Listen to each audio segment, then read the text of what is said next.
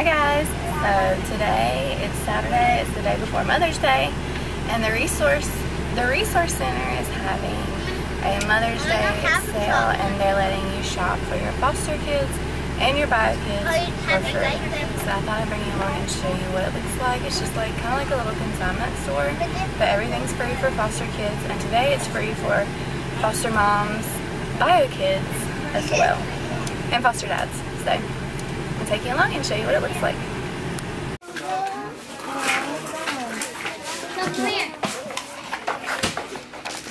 You gonna go get some toys?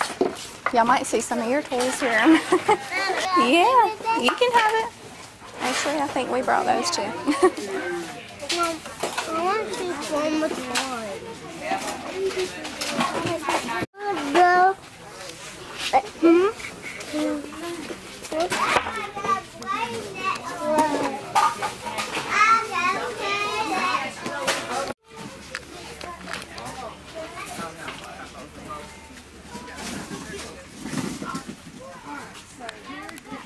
Been there about an hour and a half digging through clothes, and everybody got a bag of toys and a bag of clothes. Now we're going home to wash it and sort it and put it away. So here's some of the stuff we got. I know. We got a whole big old box full of clothes and shoes and toys. This is the resource center. Um, we got a whole huge box of clothes and toys for free. Everything there is free. We donate the clothes they grow out of back to them. The toys they no longer play with, they go back to them because I know that that's a charity that's actually doing what they're supposed to be doing with their donations because I receive donations from them for my foster kids and I know they're doing what they're they've set out to do and what they say they're going to do. So I really love it.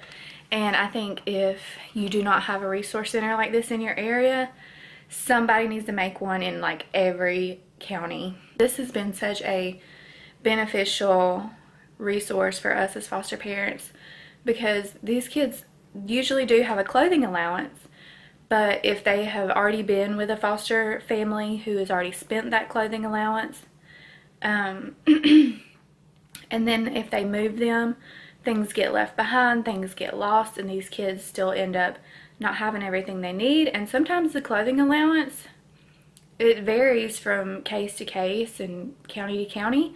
And some counties don't even have a clothing allowance so it comes out of um, what they pay you um, for the kids which is fine but the the more resources as foster parents have the more we can do for these kids. Like right now I have all my foster kids in private school. We wouldn't be able to do that without a resource like this.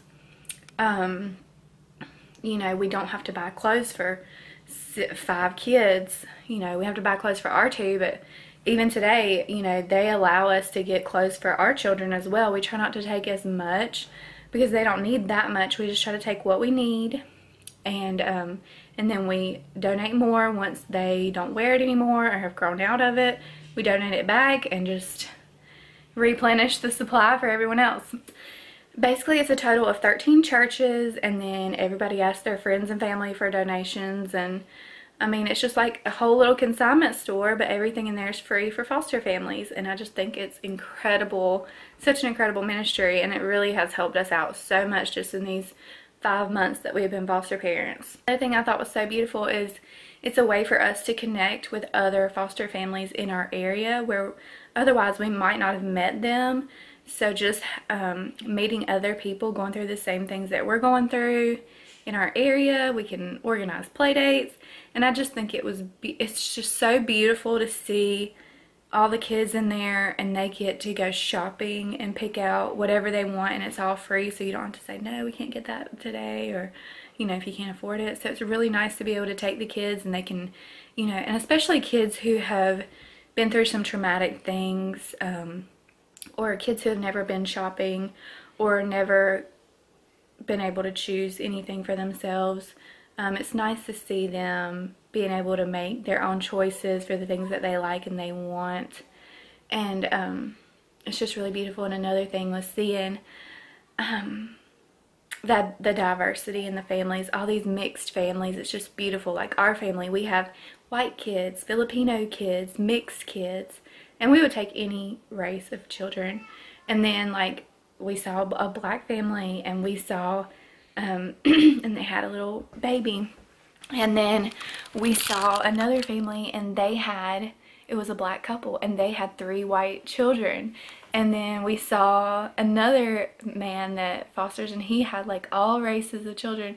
And I just think it's so incredibly beautiful, all these mixed families. And even though it's awful what these kids are going through, I still think it's so beautiful to see people um, putting their differences aside and opening up their home to everyone and really I think that's what it's all about is the love of God. God loves us all no matter what color we are. And um, it's just beautiful to see to see it in person. Like I just can't even describe it like especially today because most of the time when we go it's just us there. But today it was like everybody came and um, it was just really cool to see everybody um, using that resource. And it's just amazing the way God works. Like I said this is a church ministry. It's 13 churches in our areas and anybody and everybody else who wants to donate but it was started by 13 a group of 13 churches so I think it's really beautiful and such a great idea and such a wonderful resource. And um, I think every county should have one because it is awesome. So grateful and thankful for them. So I hope they know that. I've tried to let them know. I hope they know. But I just wanted to share that with you guys. Um, everything about foster care, most of the time it's sad and ugly. A lot of the things um, can be very negative. But when you see this side of it, it kind of balances it out and makes it um, a little more beautiful and something positive in these kids' lives. So it's really great. Anyway, I just wanted to share it with you guys and we're to go um, wash all these toys and wash all these clothes. Most of the stuff's probably been washed, but I like to just rewash it just in case. Because it's been a store. Basically, this place is, it's not even like a storefront. It's where they have the fairgrounds and they have just donated a building like a storage building to them, but it's big. It's like where they usually have like the art show area at the county fair.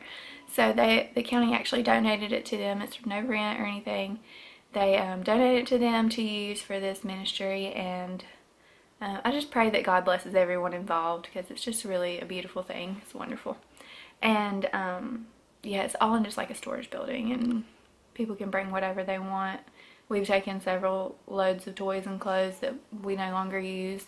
If you've seen my decluttering videos, most of that stuff goes to them. So yeah. Anyway, I just want to share it with you guys and I hope it's an encouragement to you. And if you've been wanting to start a ministry, this could be the one. It's really, it's just awesome. So anyway, I need to clean up my house and Wes is pumping up the little kiddie pool for them and filling that up and we're gonna let the kids play in the pool today. I'll probably have a vlog up of that later. So anyway, thank you all so much for watching. I love you and Jesus loves you too. God bless you all. Bye. Y'all in the pool? Yeah. yeah. The pool. Helicopter. Whoa. Oh. Please.